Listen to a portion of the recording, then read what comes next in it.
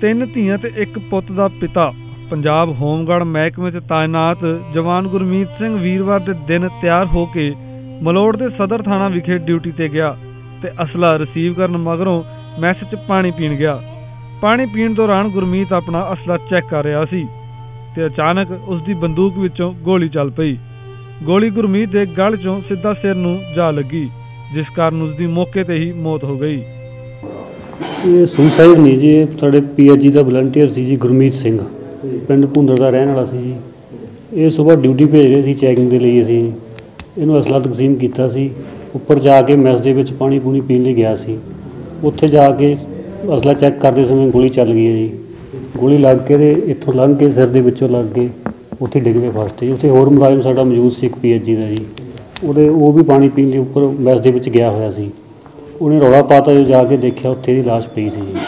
ਵੀ ਮੌਕੇ ਦੀ ਮੌਤ ਹੋ ਗਈ ਸੀ ਜੀ। ਕਿੰਨੇ ਕੁ ਵਜੇ ਦਾ ਟਾਈਮ ਸੀ ਜੀ? ਇਹ ਸਵੇਰ 5:30 ਵਜੇ ਦਾ ਟਾਈਮ ਸੀ ਕਰੀਬ। ਇਹਦੀ ਡਿਊਟੀ ਰਾਤ ਦੀ ਸੀ ਜਾਂ? ਨਹੀਂ ਇਹ ਹੁਣ ਸਵੇਰ ਡਿਊਟੀ ਲਾਈ ਸੀ ਦੀ ਚੈਕਿੰਗ ਸੰਬੰਧੀ ਜੀ। ਇਸ ਮਾਮਲੇ ਤੇ ਪਿੰਡ ਭੁੰਦੜ ਦੇ ਸਰਪੰਚ ਸੁਖਦੇਵ ਸਿੰਘ ਅਨੁਸਾਰ ਪੁਲਿਸ ਅਧਿਕਾਰੀਆਂ ਨੇ ਉਹਨਾਂ ਨੂੰ ਜਾਣਕਾਰੀ ਦਿੱਤੀ ਕਿ ਡਿਊਟੀ ਟਾਈਮ ਗੁਰਮੀਤ ਦੀ ਗੋਲੀ ਲੱਗਣ ਨਾਲ ਮੌਤ ਹੋ ਗਈ। ਸਰਪੰਚ ਨੇ ਦੱਸਿਆ ਕਿ ਗੁਰਮੀਤ ਇੱਕ ਗਰੀਬ ਪਰਿਵਾਰ ਨਾਲ ਸੰਬੰਧਿਤ ਹੈ।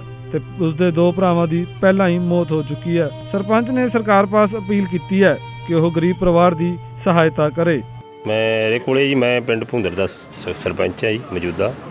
6:30 ਵਜੇ ਮੇਰੇ ਕੋਲੇ ਦੋ ਮੁਲਾਜ਼ਮ ਗਏ ਸੀ ਤੇਜਿੰਦਰ ਸਿੰਘ ਐਸਆਈ ਇੱਕ ਨਾਲ ਹੌਲਦਾਰ ਸੀ।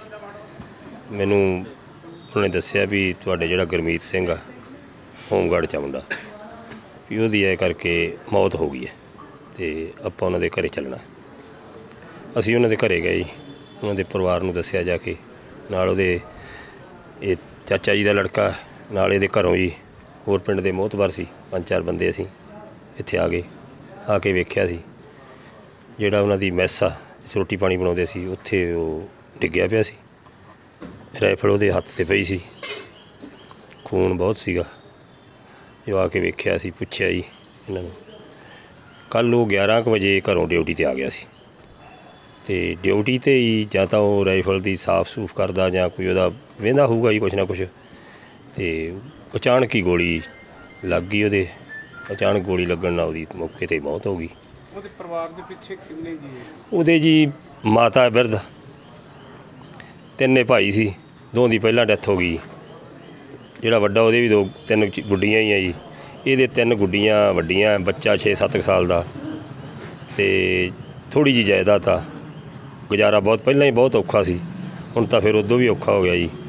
ਤੇ ਸਾਡੀ ਤਾਂ ਹੁਣ ਸਰਕਾਰ ਨੂੰ ਜਾਂ ਮਹਿਕਮੇ ਨੂੰ ਇਹੀ ਮੰਗ ਆ ਵੀ ਇਹਨਾਂ ਦਾ ਅੱਗੇ ਵਾਸਤੇ ਕੁਝ ਵਧੀਆ ਸੋਚਿਆ ਜਾਵੇ, ਘਰ ਦਾ ਗੁਜ਼ਾਰਾ ਹੋ ਜੇ ਜੋ।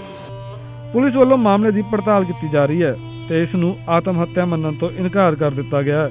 ਕਾਰਵਾਈ ਕਰਦਿਆਂ ਮਹਿਕਮੇ ਵੱਲੋਂ ਅਗਲੀ ਜਾਂਚ ਕੀਤੀ ਜਾ ਰਹੀ ਹੈ। ਮਲੋੜ ਤੋਂ ਚੇਤਨਪੁਰਾ ਦੀ ਰਿਪੋਰਟ, ਡੇਲੀ ਪੋਸਟ, ਪੰਜਾਬੀ।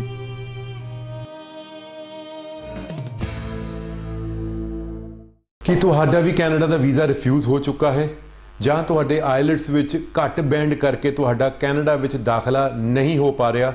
ਤੇ ਅੱਜ ਹੀ ਮਿਲੋ ਪਿਰਾਮਿਡ ਈ ਸਰਵਿਸਿਜ਼ ਦੀ ਐਕਸਪਰਟ ਟੀਮ ਦੇ ਨਾਲ, ਜੋ ਕਿ ਤੁਹਾਡੀ ਕੇਸ ਦੀ ਅਸੈਸਮੈਂਟ ਕਰਕੇ ਬੜੀ ਪਾਰਦਰਸ਼ਤਾ ਨਾਲ ਤੁਹਾਨੂੰ ਦੱਸ ਪਾਏਗੀ ਕਿ ਤੁਹਾਡੀ ਐਲੀਜੀਬਿਲਿਟੀ ਕਿਹੜੀ ਕੰਟਰੀ ਵਿੱਚ ਬਣ ਰਹੀ ਹੈ, ਅਗਰ ਕੈਨੇਡਾ ਵਿੱਚ ਬਣ ਰਹੀ ਹੈ ਤੇ ਕੀ ਰਿਕੁਆਇਰਮੈਂਟ ਹੈ। ਸੋ ਤੁਸੀਂ ਸਾਡੇ ਨਾਲ ਸੰਪਰਕ ਕਰੋ ਔਰ ਕੈਨੇਡਾ ਜਾਣ ਦੇ ਆਪਣੇ ਸੁਪਨੇ ਨੂੰ ਪੂਰਾ ਕਰੋ।